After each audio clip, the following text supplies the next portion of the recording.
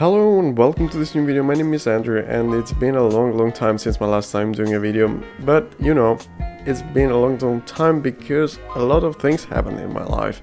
Now, I degreed last year and started working, I've changed three jobs, so now I'm living alone with my girlfriend obviously, but you know, far from my house, my parents' house. I moved out from my parents' house and I pay my bills. So basically, I don't have that much time to dedicate to YouTube.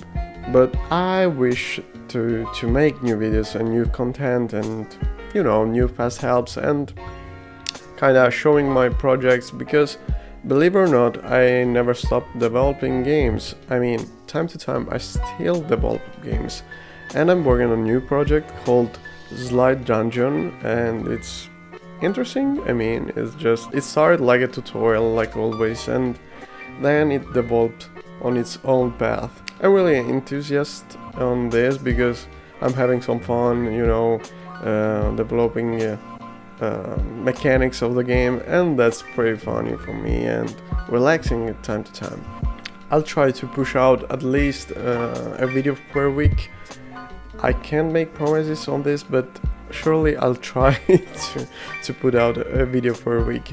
And I'll make some fast helps, obviously, and I'll try to maybe play a little bit, you know, indie games and analyze gameplay, because maybe we can try to get some inspiration for tutorials from that and try recreating the same mechanics of the game might be interesting for, for you guys and it's just mind-blowing because we just uh, passed the 1000 subs. A lot of people here and on youtube has big numbers but for me it's just mind-blowing knowing that a thousand people just decided to follow this channel. Hopefully you're doing great and being safe and sound with your families because you know this coronavirus thing going around i never stopped working because the kind of job i i have it's uh, it never stops.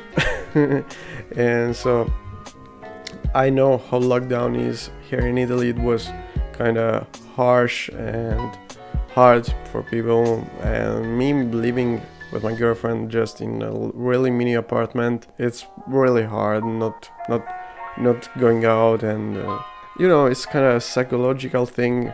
You know the idea that you can go out even though you want basically I don't go out that often, but not being allowed to go out when I want to go out, it's kind of, you know, it makes you being stressed and anxious, all that stuff there. I'm going to live about all these things and hopefully you're doing great, having a good time. It's summer, so for you who can go to beaches and still enjoy little things, hopefully you're doing great. Uh, here is Endrit like always. I really thank you for watching this video, for being here and subscribing on this channel. Hopefully new videos are coming, so please be sure to stay tuned. This is all. Thank you for being here and have a good time and see you next time and on the next video. I'm Endrit and bye.